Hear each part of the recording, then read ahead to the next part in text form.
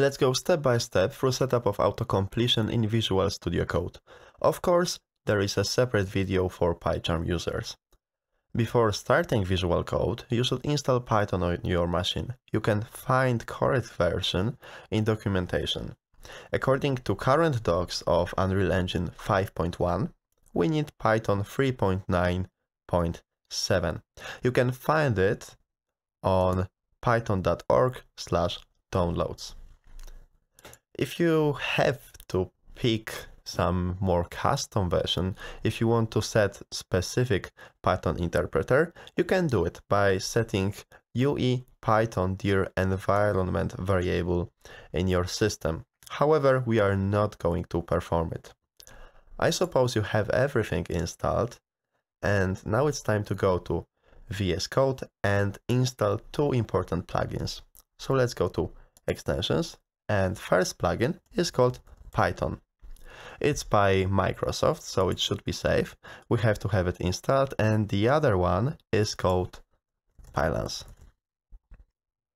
Pylance is also by Microsoft. If it says that there is a restart needed, then please pause the video and restart. I have the extensions installed, so I'm going to keep going with the video. By installing those extensions, we got support for Python. However, we also have to pick the right Python interpreter version. Of course, you may have had someone, some of these versions picked already by VS Code, so we have to make sure that this is a correct one. There is a gear icon in bottom left corner. Let's click on it and pick settings. Now find extensions and navigate to Python.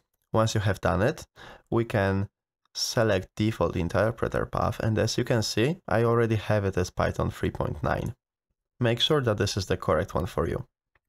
Once that is covered, scroll a bit up and find autocomplete extra paths. We have to edit those settings JSON. After clicking, we have a new entry added and we can paste path to our stub here. Where exactly is our stub located? It's in the project files. Intermediate folder, then Python stub folder. So let's copy the path, paste it, and as it doesn't have the double quotes, let's add them ourselves. Also, we have to fix slashes.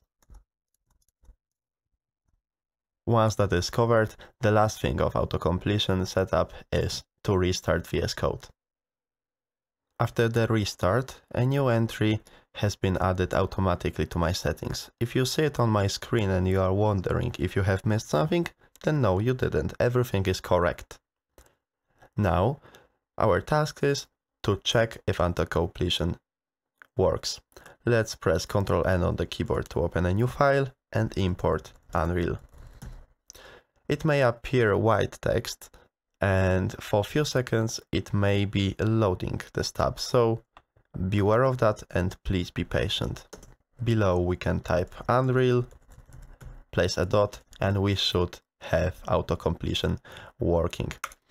We can press Ctrl on any class or any method from our file and we will be transported to Unreal Pi file.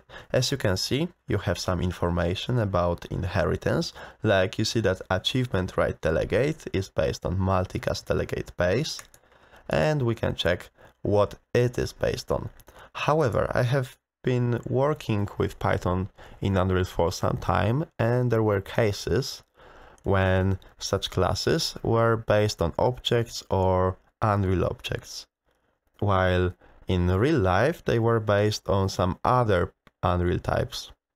So if you want to be 100% sure what objects are based on which classes, you can go to official Unreal API documentation and this one should be always correct. I hope everything is working fine for you and I will see you in the next video. Bye.